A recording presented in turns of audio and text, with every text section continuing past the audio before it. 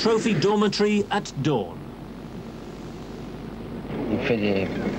Where the 14 teams grab a few hours of rest before the rigours of yet another long and tiring day. Time to talk over what lies in store and pore over the map.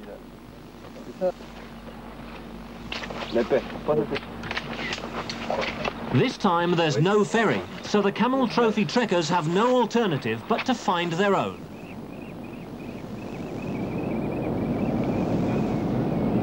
The oil drums and timber that make up the QE2 of the Camel Trophy.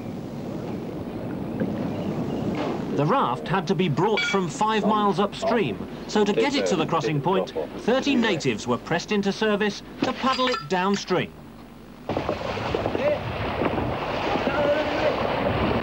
No vehicles had crossed the river here in 30 years.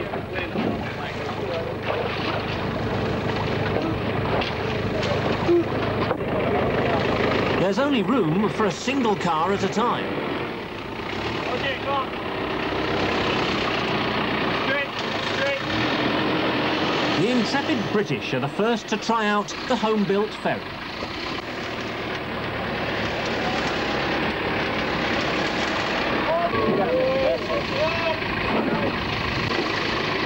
Each crossing would take an hour and a half.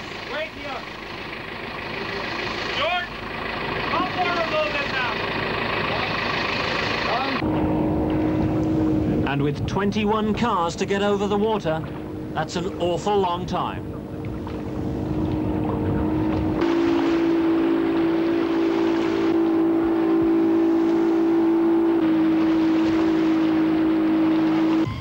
Nice and steady. Nice and steady. Yeah. Home built or not, the ferry serves its purpose perfectly. And everyone makes the crossing safe and sound. Good. It go slow. The Camel Trophy teams truck on towards Ampay on the east coast, venue for the sixth special test of the event.